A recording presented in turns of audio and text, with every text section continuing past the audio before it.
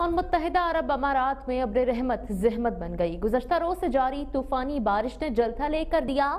نشیبی علاقوں میں سڑکیں تالاب کا منظر پیش کرنے لگیں۔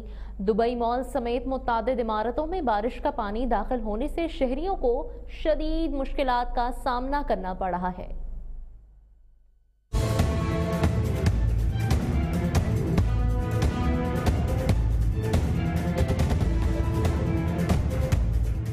متحدہ عرب امارات میں تیز ہواؤں کے ساتھ موسلا دھار بارش کا سلسلہ گزشتہ روز سے جاری ہے، جس کے باعث متعدد علاقوں میں سڑکوں پر پانی جمع ہے۔ ٹریفک کی روانی بھی متاثر ہوئی ہے۔ تیز ہواؤں کے باعث متعدد بل بورڈز بھی گر گئے ہیں۔ مسلسل بارش دبئی ایئرپورٹ پر پروازوں کا شیڈیول بھی متاثر ہوا ہے۔ انتظامیہ نے مسافروں کو فلائٹ سے متعلق معلومات لے کر ایئرپورٹ آنے کی ہدایات جاری کر دی ہیں۔ ادھر تیز بارشوں کے پیش نظر متعدد سکول بھی بند کر دیے گئے ہیں۔